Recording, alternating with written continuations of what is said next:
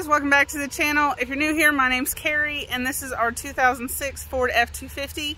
Uh, it is the 6 liter Power Stroke. So today we're going to be talking about the intercooler that we installed and I apologize if I go too fast or ramble on too much. I've literally recorded this video 20 times today. Uh, first half of it was at a different location, one of my favorite spots to record, but I come home and I watched the video and I wasn't happy with it. So now we're recording it in the driveway, so I do apologize if you hear the dogs bark in the background. But anyways, let's go ahead and jump into it. So for those of you new here, as I said, this is our 2006 6 liter Power Stroke. It is an AF250. The truck is modified and it currently has about 134,000 miles on it, just just a hair over. Pretty low miles for this year truck. They're really hard to find with that low miles. Me and Devin were blessed and found ours in 2017 with only 69,000 miles on it.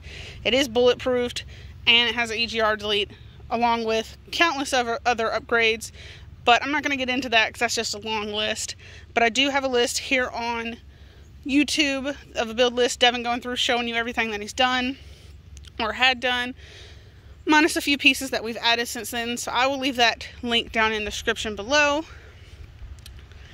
I will also leave the installation of this Turbonetics intercooler in the description below if you're interested on that. And it really shows how massive this intercooler is. Uh, I can show you in the truck, and that's why I've got the hood popped but you can't see that much of it. You can't really see how massive the thing is. So I did buy the intercooler from Rudy's Diesel Performance uh, in Burlington, North Carolina. Great company. We purchased it, I want to say it was around $1,200 uh, after tax. It's not too bad compared to the other things. We weighed between the Turbonetics and the Mishimoto. Ended up going with the Turbonetics as an upgraded one. So the biggest reason we upgraded the intercooler was because the truck was blowing boots left and right. The intercooler itself had some oil in it from some blow by that the truck had, and it was just getting in the piping and in the boots and just causing the boots to pop. And it was a pain in our butt to have to, especially for me. Before we had the truck on a two inch level, and now it's on a six inch lift.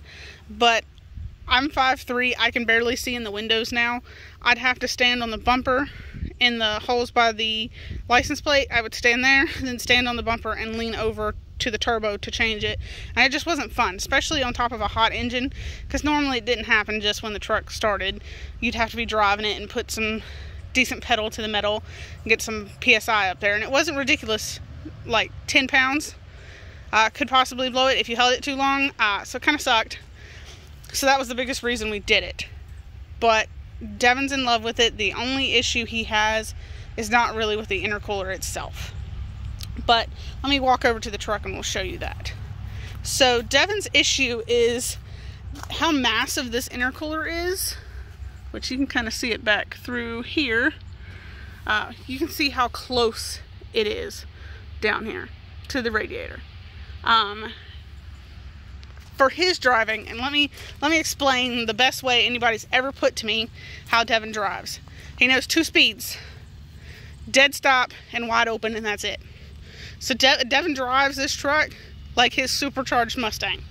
Kid you not, that's how he drives. He's not gonna if somebody pisses him off, he's getting around their ass and if they want to come and play and ride on his tail, he's gonna show him them who's boss and he's going to move. Be like, no, we're, we're not going to play that. Um, so the temperatures for him during the summertime here in North Carolina, when we get 90, 95 degrees, he's running like 220, 230, uh, which is too hot. And he doesn't like that. He'll ease out of it and let it cool back down. But for an everyday driver, for like me and you probably, it's not an issue. I drove it while I was in Idaho at the beginning of August for a whole week I ran through three tanks of diesel while he was gone. I never saw the truck get over 200 for the coolant tips. So it's not a big issue to me. It is to Devin, and it's his daily driver.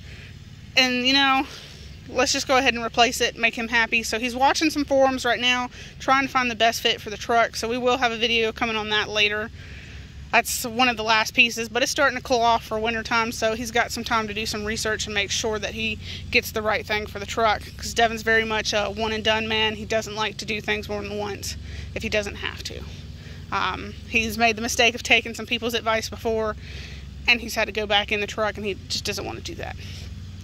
So the Turbonetics does allow, it pulls the intake air down, the uh, temperature down pretty substantially. I want to say it dropped it probably about 20 degrees, which was great.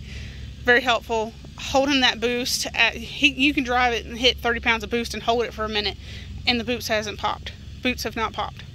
And which that's amazing for me, especially now that I'm pregnant and I can't necessarily get up on the truck that easy, and leaning over it is not easy for me either. Um, it helps me out a lot to not have to worry about that, and it gives Devin that peace of mind too when I drive his truck. Well, our truck, his truck.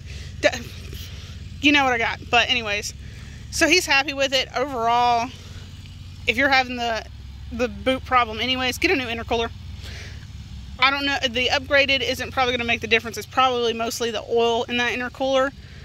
But dang, if the Turbonetics hasn't performed, I can't tell you the exact horsepower numbers it's delivered because I don't know. We haven't been able to put it on a dyno, but it's made a difference.